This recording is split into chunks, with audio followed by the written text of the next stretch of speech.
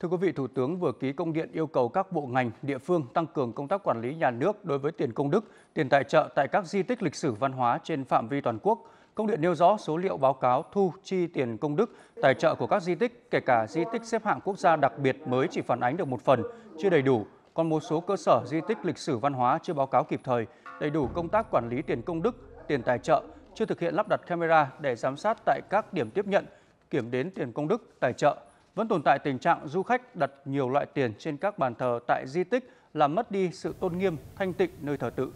Việc quản lý tiền công đức, tiền tài trợ có lúc có nơi vẫn chưa chặt chẽ, tiềm ẩn những rủi ro để thất thoát, trộm cắp. Thủ tướng yêu cầu nâng cao hơn nữa hiệu lực, hiệu quả công tác quản lý nhà nước đối với tiền công đức, tiền tài trợ tại các di tích lịch sử, văn hóa trên phạm vi toàn quốc, thực hiện tốt hơn các nhiệm vụ về xây dựng, gìn giữ, chấn hưng và phát triển nền văn hóa của dân tộc.